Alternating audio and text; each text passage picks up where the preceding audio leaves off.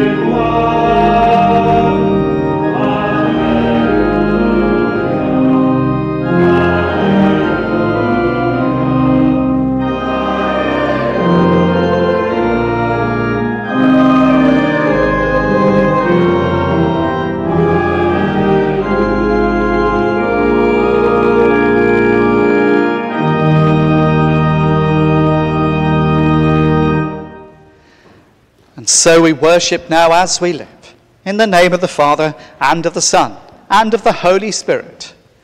Amen. Grace, mercy, and peace from God our Father and the Lord Jesus Christ be with you. Please, would you be seated? As we've just sung together, O friends, in gladness let us sing, supernal anthems echoing. We, of course, always reflect the worship of heaven, and we are joined with the saints eternal as we worship this morning. And so, as we acknowledge the presence of a great cloud of witnesses surrounding us, so we spend a moment in quiet, welcoming them into our worship this day.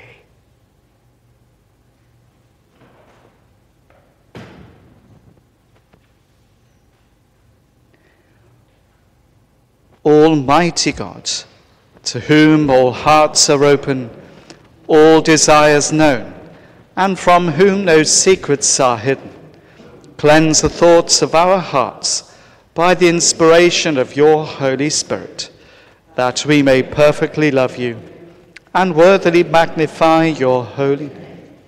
Through Christ our Lord. Amen. So, on page two of our order of service, we come to our prayers of penitence and an introduction set for All Saints Sunday. Jesus calls us to share the heavenly banquet of his love with all the saints in earth and heaven. Knowing our unworthiness and sin, let us now ask from him both mercy and forgiveness.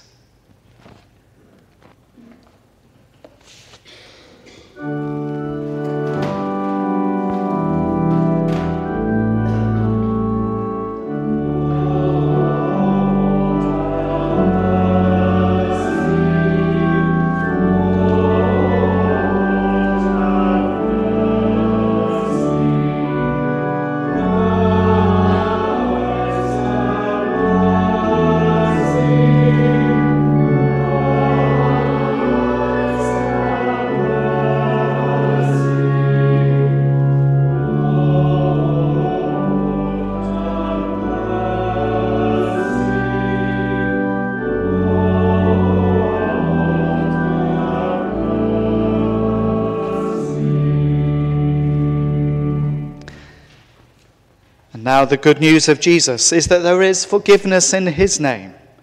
So now may Almighty God, who forgives all who truly repent, have mercy upon you, pardon and deliver you from all your sins, confirm and strengthen you in all goodness, and keep you in life eternal, through Jesus Christ our Lord. Amen. We now stand to sing the song of the angels, the Gloria. Glory be to God on high.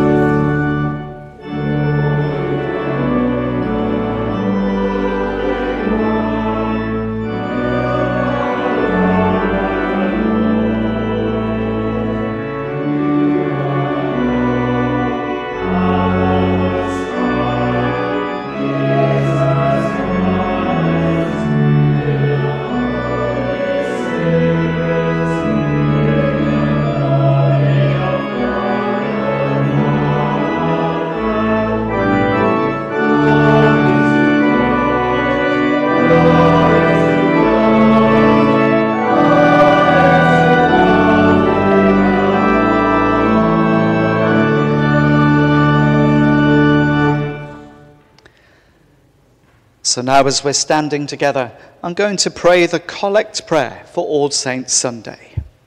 Let us pray. God of holiness, your glory is proclaimed in every age.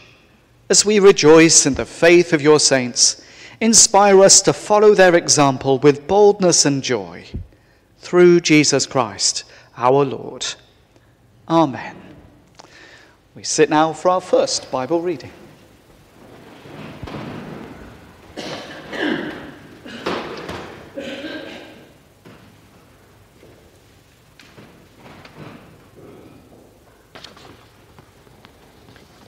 The reading is taken from Revelation chapter 21, verses 1 to 6a, in which John has a vision of a new heaven and a new earth where God will establish his kingdom of peace.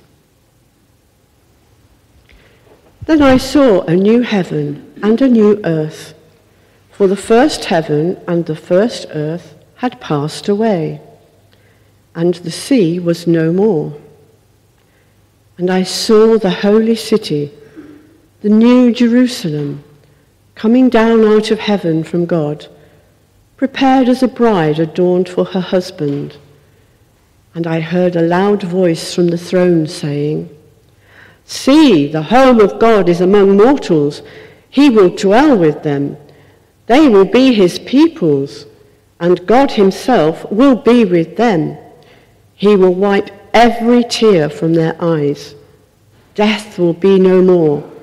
Mourning and crying and pain will be no more, for the first things have passed away.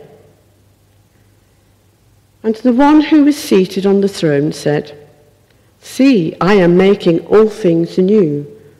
Also, he said, Write this, for these words are trustworthy and true. Then he said to me, It is done. I am the Alpha and the Omega, the beginning and the end. To the thirsty, I will give water as a gift from the spring of the water of life. This is the word of the Lord. Thanks, Thanks be, to, be God. to God. As you're able, I'm going to invite us to stand once again as we sing our gradual hymn, number 227.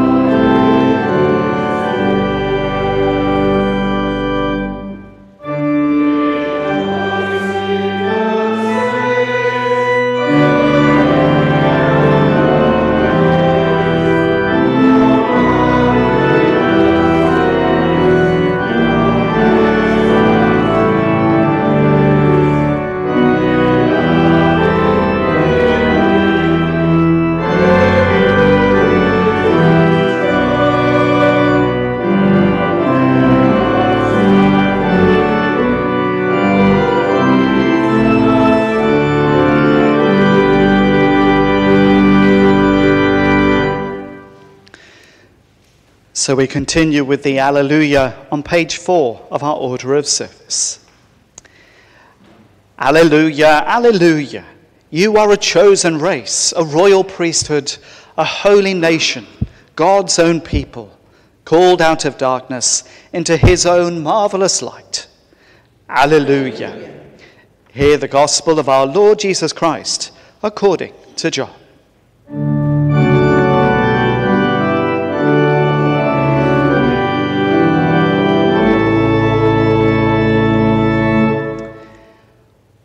When Mary came where Jesus was and saw him, she knelt at his feet and said to him, Lord, if you had been here, my brother would not have died.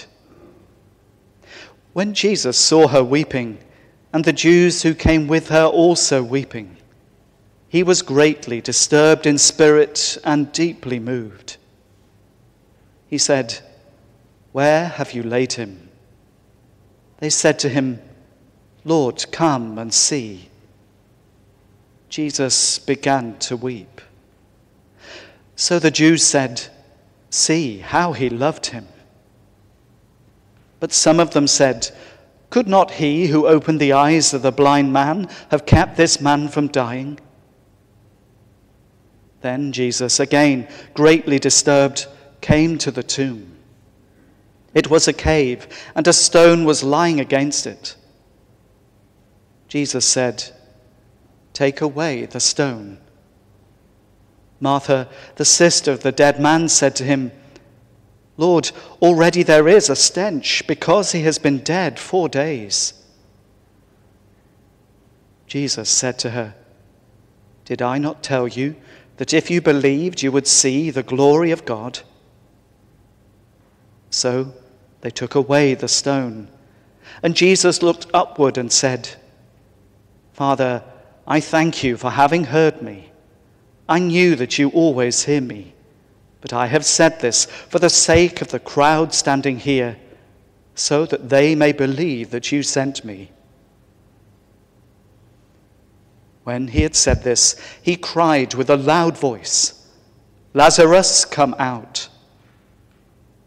The dead man came out, his hands and feet bound with strips of cloth, and his face wrapped in a cloth. Jesus said to them, Unbind him and let him go. This is the gospel of the Lord. Praise to you, O Christ.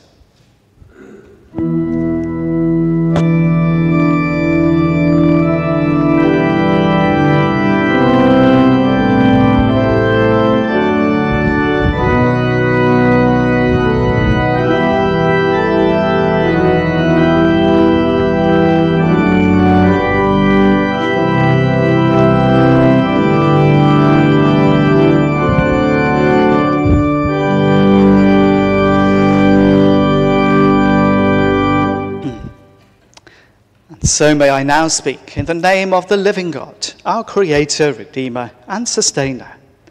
Amen. Please, would you sit down? I just need to check has anyone ever been to St. Thomas Fifth Avenue, New York? Yep, a few have. Can I check further? Has anyone got any relatives there or who worship regularly? Does anyone know the vicar? Good, that's all right, I can continue. So, this is a story from a little while ago when I was uh, a curate myself and I'd gone with one of the choirs attached to my church on a tour of the States. And I was a kind of chaplain to the choir. And every church we went to, um, I was invited to take part. It was very gracious um, and in some churches, I presided at the Eucharist. Others, I sang evensong with a choir, so I what's called cantored. So I get to do the "Oh Lord, open thou our lips" bit, which I'm doing at the cathedral tomorrow. Do tu- tune in; it's on YouTube. Um, it's really good. The girls are singing on their own. Um, so Sophie will be singing. It's it's really beautiful. Not that I'm biased, you understand. So we got to St. Thomas Fifth Avenue, and it is quite the church, sitting there it, not quite in the middle of New York, but it has a huge ministry um, and all sorts of international things going on. So when I was showed into a side room, I thought, well, I wonder what they're going to ask me to do uh, in this great church. Maybe they'll ask me to cant or evensong or read a lesson. Anyway, the rector, no, that wasn't sent. It was just a junior minister sent to uh, see me, and he instantly started quizzing me on what degrees I had. And that got my back up um, quite a bit. And I said, Well, what, what would you like me to do for this service? Do you want me to cantor? Oh, no, no, no, no, no, he said. We'll, um, no, no, no, you won't be doing that. I said, Do you want me to read a lesson or something? Oh, no, no, no, no. You just follow the choir in, go and sit down there and just be quiet and take in the service. So I thought, Okay, I'm a visitor. Breathe in, calm, be good. So I went in and I thought, well, they're bound to have this super cantor. I'm looking forward to this. So I went in, sat down, their cantor stood up, the organ gave a note, and he went, O Lord, open thou our lips. And the choir looked at me and went, Help. Uh, and I thought, no, there's nothing I can do. So I must admit, I was sitting there in this glorious church, and it is quite grumpy. Um, and I feel very bad to this day for that. But it was a particular blessing then when afterwards I got to spend some time with some of their congregation who began to fill me in with the history of that great church. And I think it was quite a saintly story. I wonder what you think. So they took me back to 1905, and the third church to have occupied the current site in New York. And tragically, the church burnt down. But bearing in mind this was 1905, it was well insured for $100,000. So in 1906, the then rector collected the insurance check and on his way home passed the offices of the New York Times, which was appealing for donations in the wake of the terrible San Francisco earthquake, in which 3,000 people had died and 80% of the city had been destroyed. So, without any consultation at all, and bearing in mind I'm standing opposite our treasurer at the moment, the rector donated the money, all of it, to the appeal because he thought their needs were greater. But unbeknown to him, the Times then ran with a story on its front page about the church that had given away everything that it had. And within a few days, back to the church, six million had been donated. And I think that was an example, not necessarily of recklessness, although don't worry, PCC and wardens, if I do get a check for 100,000, I will go through the proper procedures, mostly. But it was saintly behavior.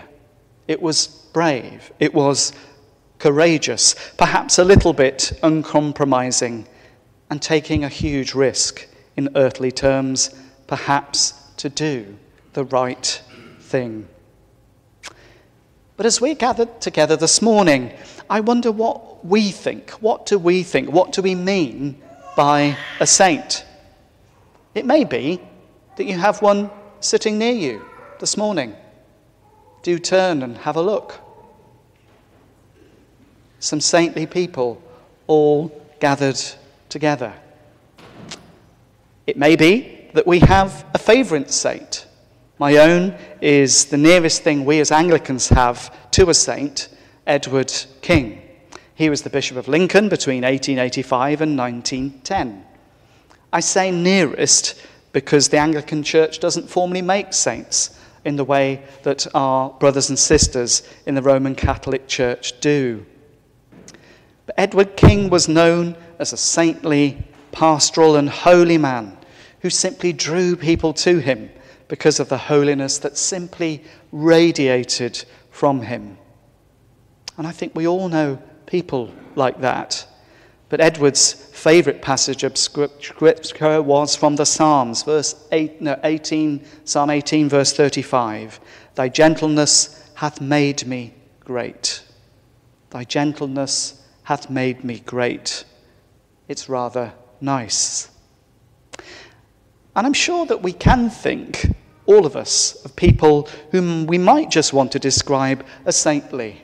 And hallelujah for that. But sainthood might just seem to be beyond us, with saints seeming to be, and I wish this line I'm going to quote was mine. It isn't. It's from Neil, who used to be the chaplain at Repton before our wonderful Adam. He was preaching on All Saints once and said, Well, sometimes we can look at saints as God's little overachievers. I quite like that. Those of you who know Neil, that's a very him thing to say. God's little overachievers who are so amazing that we can't possibly reach their dizzying heights. I hope you get to meet one day a friend of mine, Carolyn, with whom I was ordained and served together on the same ministry team. She would disagree with those dizzying hype bits. She loves the saints and constantly seeks to teach on them and about them. These holy people who are indeed there not to depress us with their amazing heroics of the faith, but to inspire us and remind us of our saintly calling. As it says in 1 Peter, you are a chosen race, a royal priesthood, and a holy nation. So you and I are called to be a holy people and holy simply relates to being like God. And that is what Jesus came to show us how to love and to be loved, how to glow, if you like, with that inner peace that we can see often in others too. It's a bit like that. Do you remember the Ready Brek adverts years ago? Eat the Ready Brek and get up. It was get up and glow with Ready Brek, wasn't it? There we are. I'm that old. But in our saintly gospel reading for today, we see that wonderful story of Lazarus. Lazarus is set free by, by Jesus, set free even at that point from the grip of death. And I think to be saints, a holy people, we must also be free from all that binds us and prevents us not from not just following Jesus, but from living the life that he asks us to live. Mary and Martha thought they'd lost their brother, but Jesus still needed him, and nothing but nothing was going to stop that. So, as saints together, may we too be set free for saintly, costly action that builds the kingdom, just like those parts of San Francisco were rebuilt all those years ago with generous, outlandish generosity. But we have so many resources. For example, that letter to the Hebrews. Therefore, since we are surrounded by a great cloud of witnesses, let us also lay aside every weight and the sin that clings so closely, and let us run with perseverance the race that is set before us.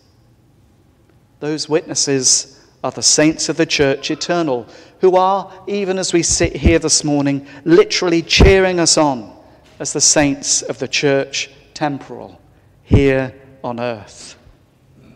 And the saints, for all their flaws, and there really were many, remind us that as Christians, we are never really alone as we run that race that is set before us.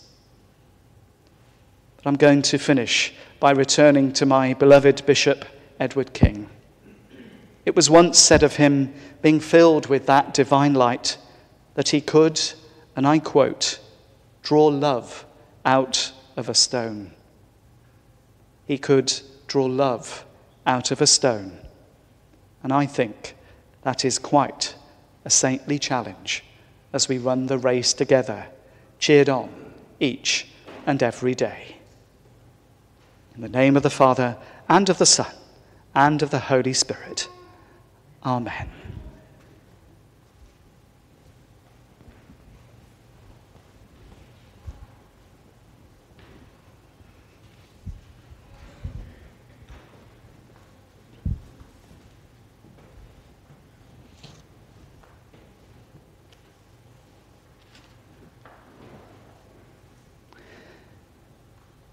So, as we're seated together, now going to ask if Stephen will lead us in our time of prayer. Let us pray.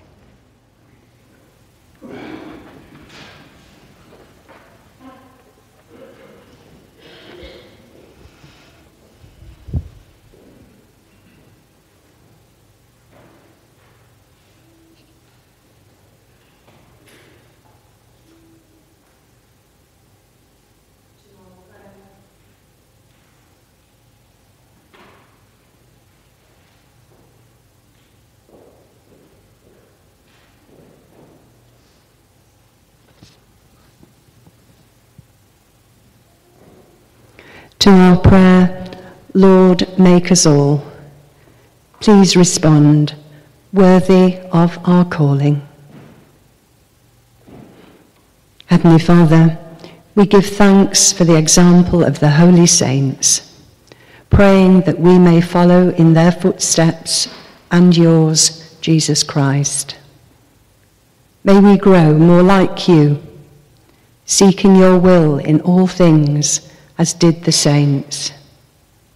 Please help us to devote ourselves and all that we do to your glory and to the service of our neighbours. Lord, make us all worthy, worthy of our calling. We thank you, Father, for the faithful prayers of so many over the generations for their lifetimes of quiet godliness, for the struggles bravely borne and the witness of strong faith, for those who have maintained this place of worship over so many generations.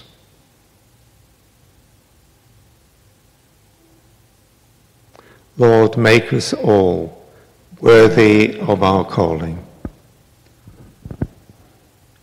Heavenly Father, thank you for all peacemakers and those who strive for justice and reconciliation.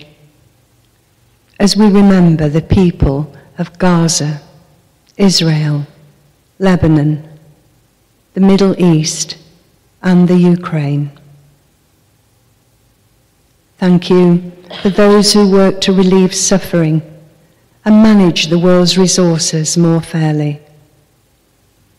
Help us, Lord, not to squander the riches of the earth you've given us, destroying its beauty for personal economic gain.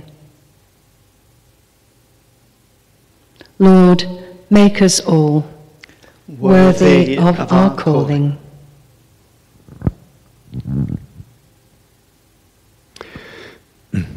Heavenly Father, we thank you for the blessing and hope of each new generation, for the richness of good friendships, for the happiness of those in love, for the comfort of prayer support.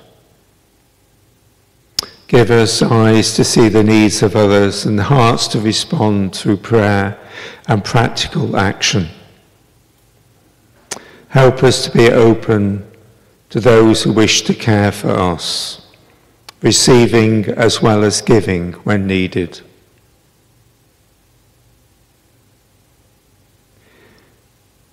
Lord, make us all worthy, worthy of our calling.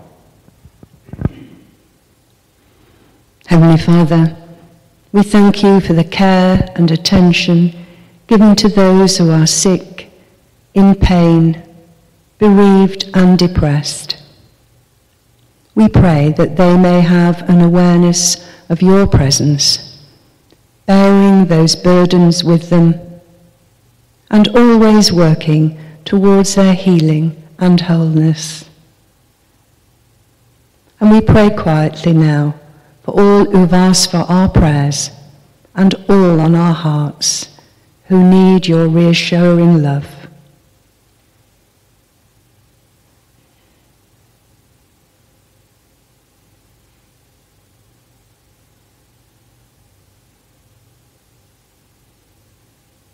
Lord, make us all worthy, worthy of our, our calling. calling. Heavenly Father, receive into your care those near to death and those who have died recently, remembering Peter Jenner, Lucine McLean, Barbara, Barbara Martyr, and any others known to us.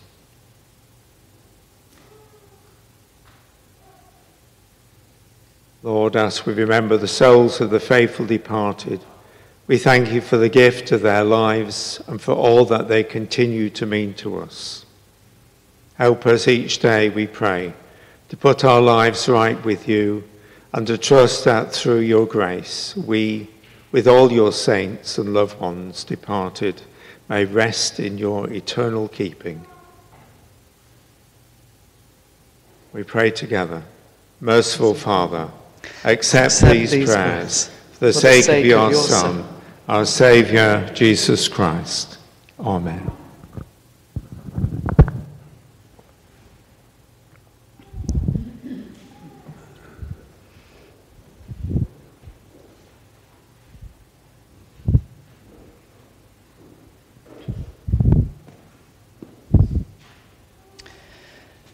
As you are able, please would you stand.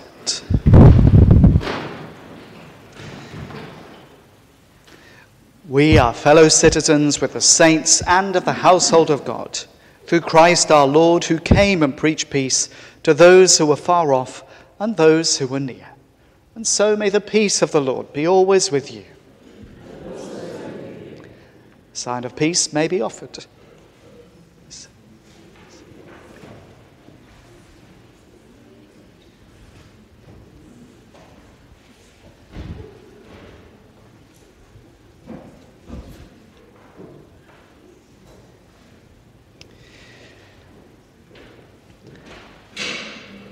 So, a bit for memory now. We're going to sing the offertory hymn number 232, which is for all the saints. And we're going to sing verses 1, 2, 4, 7, and 8. verses so evens, then the last two 1, 2, 4, 7, and 8. Uh, so, between us, we'll get somewhere towards the end of the hymn. So that's verses 1, 2, 4, 7, and 8, and I will try and remember too. We sing.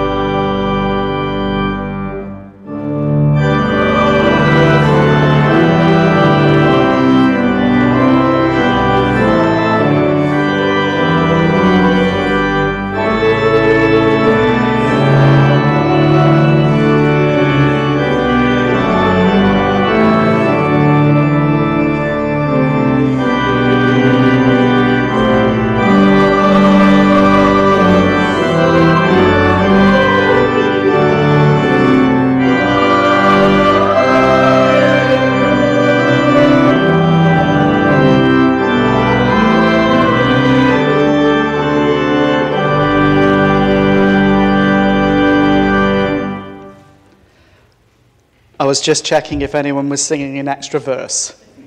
Excellent. I think we all got there together. And of course, verse 4 of that hymn is the famous Bishop Chaplin's uh, song, um, We Feebly Struggle, They in Glory Shine, which I quite like. So we continue with a prayer of offering set for All Saints' Day. To you we come, Father of lights, with angels and saints, where heaven and earth unite. May Jesus meet us in the breaking of the bread. Amen. The Lord is here. Lift up your hearts. Let us give thanks to the Lord our God. It is indeed right, our duty and our joy, always and everywhere to give you thanks, Holy Father, Almighty and eternal God, through Jesus Christ our Lord. And now we give you thanks, most gracious God surrounded by a great cloud of witnesses, and glorified in the assembly of your saints. The glorious company of apostles praise you. The noble fellowship of prophets praise you. The white robed army of martyrs praise you. We, your holy church, acclaim you in communion with angels and archangels and with all who served you on earth and worship you now in heaven. We raise our voice to proclaim your glory forever praising you and singing.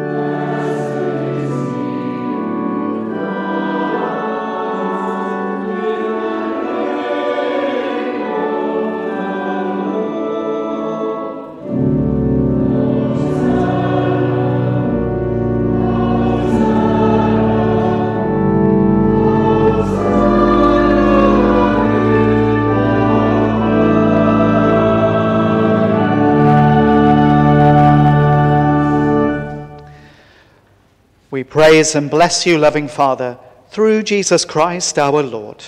And as we obey his command, send your Holy Spirit, that broken bread and wine outpoured may be for us the body and blood of your dear Son. On the night before he died, he had supper with his friends, and taking bread, he praised you. He broke the bread, gave it to them, and said, Take, eat. This is my body which is given for you. Do this in remembrance of me. When supper was ended, he took the cup of wine. Again he praised you, gave it to them, and said, Drink this, all of you. This is my blood of the new covenant, which is shed for you and for many for the forgiveness of sins. Do this as often as you drink it in remembrance of me. So, Father, we remember all that Jesus did. In him we plead with confidence his sacrifice, made once for all upon the cross. Bringing before you the bread of life and cup of salvation, we proclaim his death and resurrection until he comes in glory. Christ has died. Christ is risen. Christ will come again. Lord of all life, Help us to work together for that day when your kingdom comes, and justice and mercy will be seen in all the earth. Look with favor on your people, gather us in your loving arms, and bring us with wisdom and all the saints to feast at your table in heaven. Through Christ, and with Christ, and in Christ, in the unity of the Holy Spirit, all honor and glory are yours, O loving Father, forever and ever. Amen.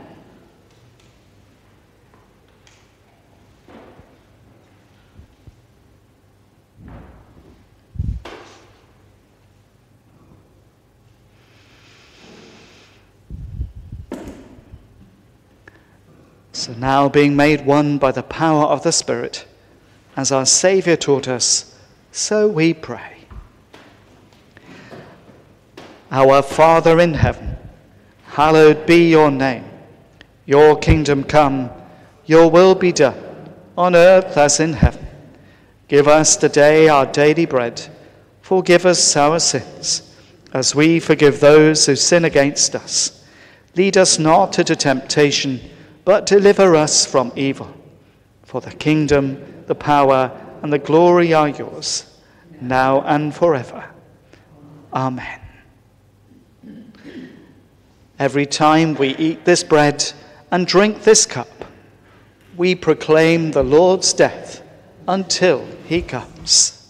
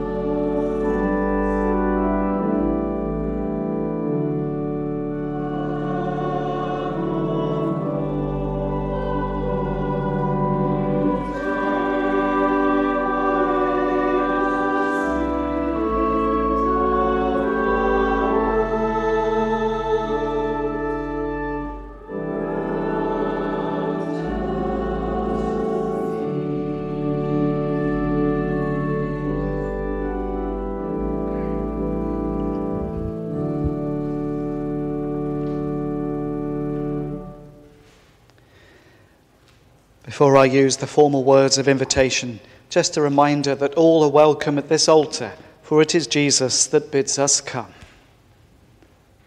So now draw near with faith, receive the body of our Lord Jesus Christ, which he gave for you, and his blood, which he shed for you. Eat and drink in remembrance that he died for you, and feed on him in your hearts by faith with thanksgiving.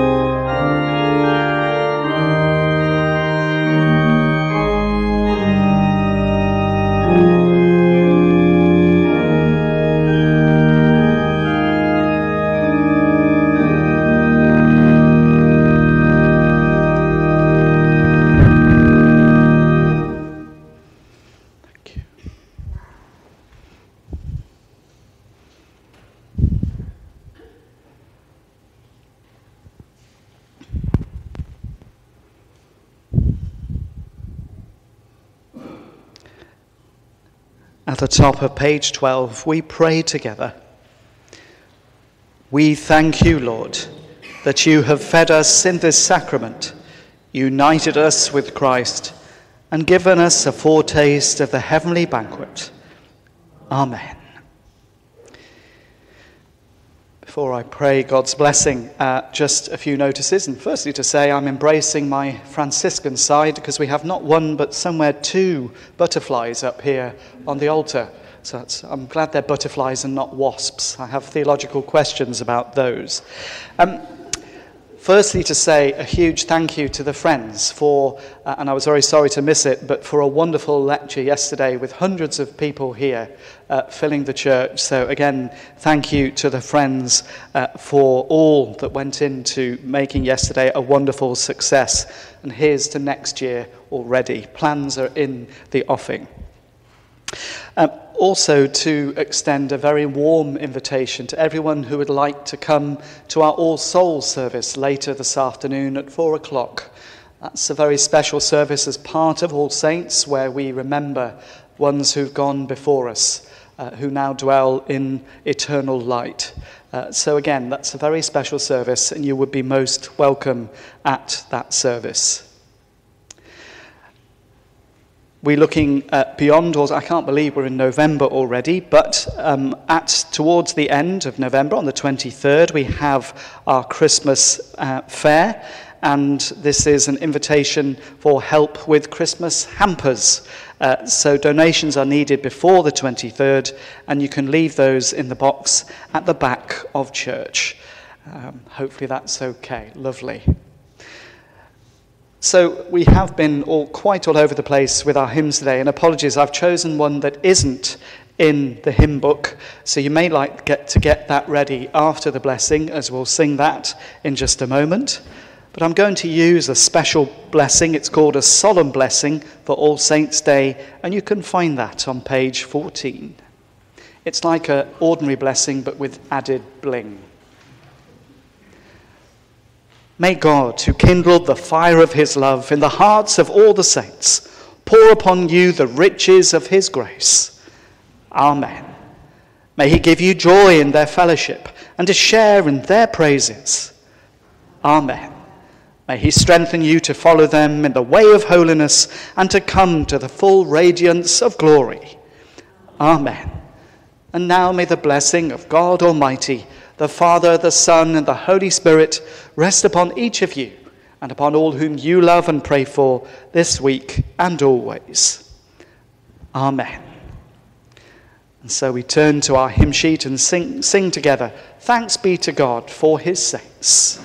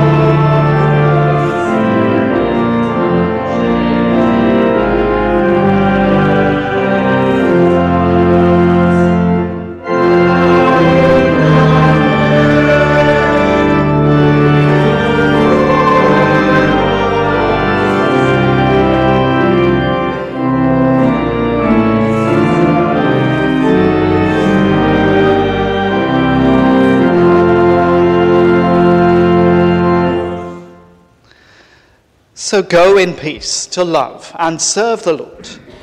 In the name of Christ. Amen.